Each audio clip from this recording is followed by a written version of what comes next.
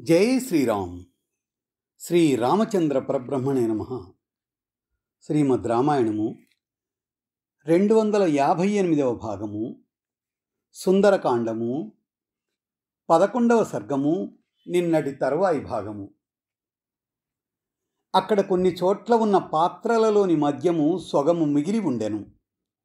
కొన్ని చోట్ల పూర్తిగా త్రాగివేసిరి కొన్ని చోట్ల అసలే త్రాగలేదు. హనుమంతుడు కొన్ని చోట్ల అనేక విధములైన భక్ష్యములను కొన్ని చోట్ల వేరువేరుగా మద్యములను కొన్ని చోట్ల తినగా మిగిలిన అన్నములను కొన్ని చోట్ల బ్రద్దలైపోయిన పాత్రలను కొన్ని చోట్ల కలచివేయబడిన ఘటములను కొన్ని చోట్ల పుష్పమాలలతో కూడిన జలములను ఫలములను చూచుచూ సంచరించెను. అక్కడున్న స్త్రీల శయనములు అనేక ఆకారములలో శుభ్రముగా ఉండెను. కొందరు స్త్రీలు ఒండరులను కౌగలించుకొని నిద్రించుచుండిరి. కొందరు స్త్రీలు నిద్రకు పూర్తిగా వడలు తెలియక పక్కనున్న స్త్రీల వస్త్రములను లాక్కొని వాటిని కప్పుకొని నిద్రించుచుండిరి. ఆ స్త్రీల నిశ్వాస వాయువుల చేత వారి శరీరములపై ఉన్న వస్త్రములు పుష్పమాలలు మందమారుతము చేత కదిలినట్లు మెల్లగా చూచుటకు ముచ్చట గొల్పునట్లుగా కదలుచుండెను. చల్లని చందనము మద్యము తేనె రసము అనేక విధములైన పుష్పమాలలు అనేక విధములైన ధూపములు వీటి అన్నింటి వివిధ సుగంధములను వ్యాపింపచేయుచు వాయువు నలుమూలలా వీచుచుండెను.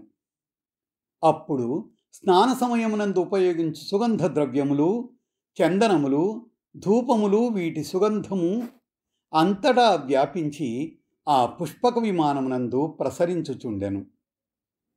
రావణాంతఃపురములోని స్త్రీలలో కొందరు చామల చాయగలవాళ్ళు కొందరు తెల్లని వాళ్ళు కొందరు నల్లని వాళ్ళు కొందరు బంగారపు వన్నెగల వాళ్ళు ఉండిరి. నిద్రాపారవస్యము చేతను రతికేళులు సరిపి ఉండుడు చేతను అలసిపోయిన ఆ స్త్రీల రూపము ముకుళీభవించిన పద్మలతల రూపం వలె ఉండెను. హనుమంతుడు ఈ విధముగా ఈ రావణాంతఃపురమునంతను పూర్తిగా చూచెను గాని జానకి మాత్రము అతనికి కనబడలేదు. అప్పుడు ఆ స్త్రీలనందరినీ చూచుచున్న ఆ హనుమంతునకు ధర్మలోపము చేసినానా? అను శంకచే ఎక్కువ విచారము కలిగాను.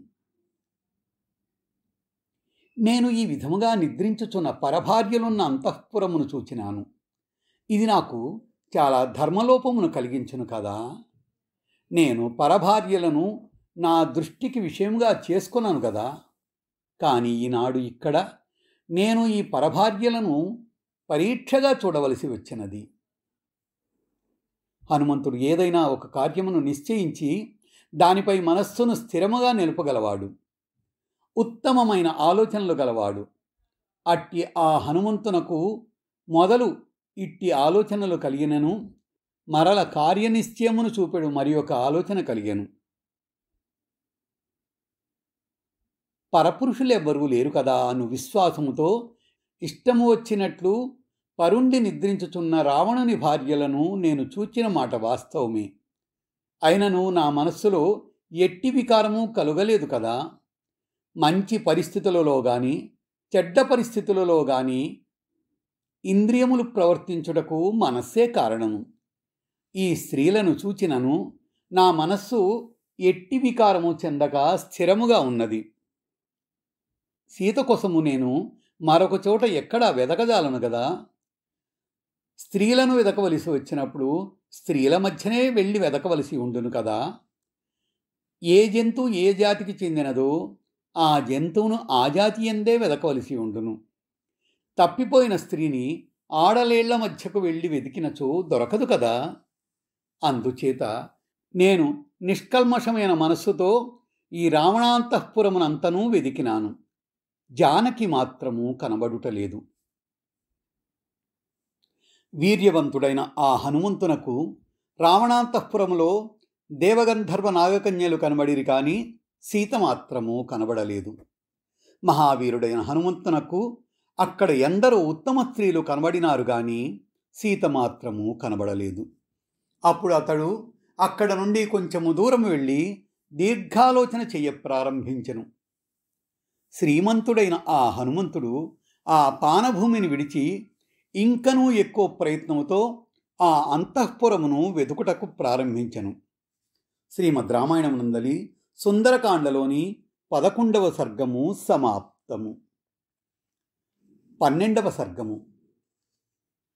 సీత మరణించినదేమో అని శంకించిన హనుమంతుడు ఉత్సాహ విహీనుడగుట మరల ఉత్సాహము తెచ్చుకొని స్థానాంతరములలో వెదుకుట ఎక్కడా సీత కనబడకపోవటచే మరల అతడు నిరుత్సాహము చెందుట.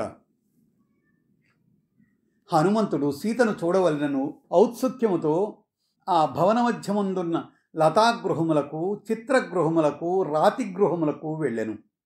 కానీ చూచుడకు చాలా అందమైన ఆ సీతను మాత్రము చూడజాలకపోయెను. ఆ రఘునందనుని భార్య అయిన సీత కనబడకపోవుటచే హనుమంతుడు ఈ విధముగా తలచెను. సీత తప్పక మరణించియుండును.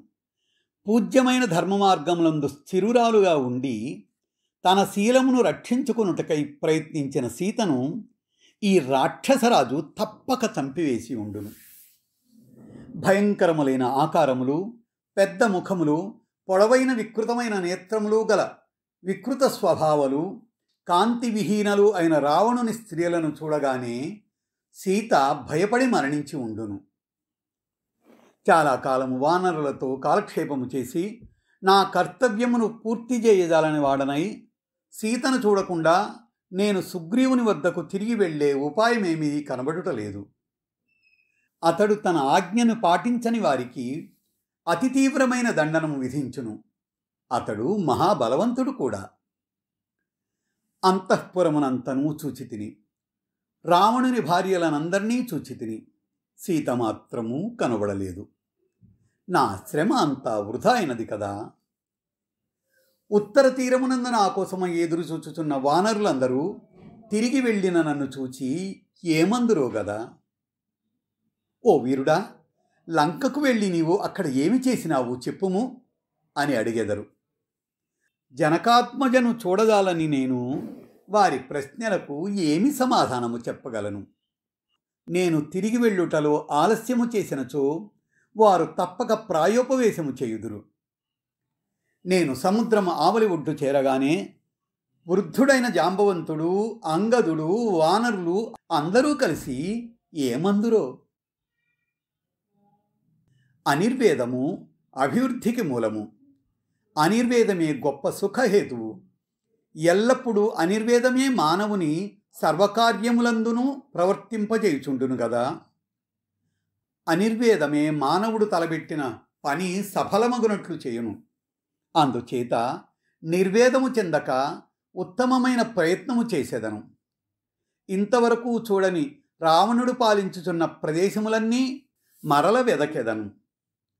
నేనింతవరకు పానశాలలు పుష్పగృహములు చిత్రశాలలు క్రీడాగృహములు ఉద్యాన మధ్య వీధులు విమానములు భవనములు పూర్తిగా వెదకి తిని హనుమంతుడి విధముగా ఆలోచించి భూగృహములను చైత్యగృహములను ప్రధాన గృహములకు దూరముగా నిర్మించిన చిన్న గృహములను మాటిమాటికిని వెతుకుటకు ప్రారంభించను. మాటిమాటికి పైకి ఎగురుచు క్రిందికి దుముకుచు ద్వారములు తెరచుచు తలుపులు త్రోయుచు లోనికి ప్రవేశించుచు బయటకు వచ్చుచు దిగుచు ఎక్కుచు ఆ ప్రదేశములన్నింటిలోనూ సంచరించెను. హనుమంతుడు రావణాంతఃపురములో నాలుగు అంగుళముల ప్రదేశం కూడా మిగలకుండగా వెదికెను.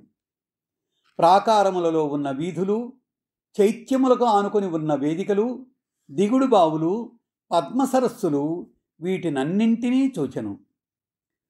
అనేక విధములైన ఆకారములతో వికృతములైన రూపములతో వికృతములైన అవయవములతో ఉన్న రాక్షస స్త్రీలు హనుమంతునకు అక్కడ కనబడిరి. కానీ సీత మాత్రము కనబడలేదు.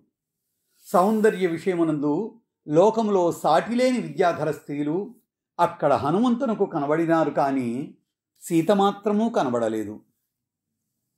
అందమైన పిరుదులు పూర్ణచంద్రుని వంటి ముఖములు గల నాగకన్యలు అక్కడ హనుమంతునకు కనబడినారు గాని అందమైన నడుము గల సీత మాత్రము కనబడలేదు. రావణుడు జయించి బలాత్కారముగా తీసుకుని వచ్చిన నాగకన్యలు అక్కడ హనుమంతునికి కనబడిరి కానీ సీత మాత్రము కనబడలేదు.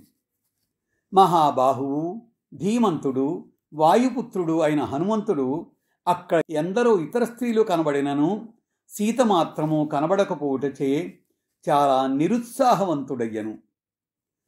వానర్లు చేసిన ప్రయత్నము తాను చేసిన సముద్ర లంఘనము కూడా వ్యర్థమైపోయినది కదా అని తలచుచూ ఆ వాయునందనుడు మరల దుఃఖితుడయ్యను.